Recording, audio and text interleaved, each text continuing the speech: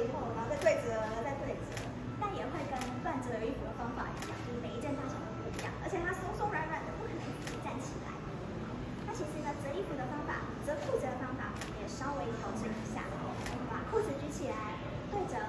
而这个对折呢，我会建议是把屁股的地方露在外面，就是让我们把有拉链、有扣子的地方收在里面。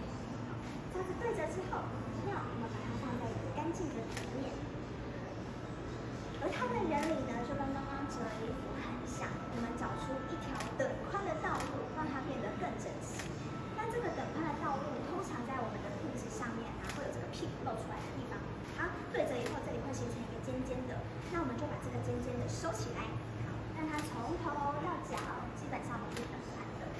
那这个尖尖的地方很重要哦，因为我们要把裤头的地方折回来，让它变这个把裤脚的地方折回来这个三角形。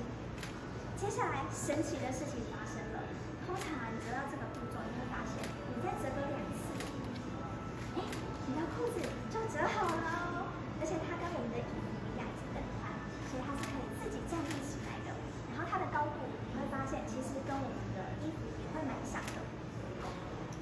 OK，那你可能会问说，刚刚衣服有口袋试试看裤子怎么折成口袋式。我们一样把它打开。好，那再一样回到刚刚的步骤，裤子摆好之后，把三角形屁股的地方收回来，让它变成等宽；裤头的地方折回来，裤摆的地方回到这个三角形的地方。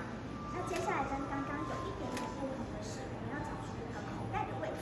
这个口袋位置通常在这边，也就是我们穿裤子会放到腰的这个地方。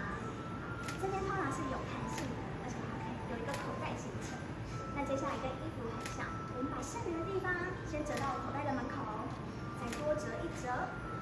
啊它就可以一样自己收自己。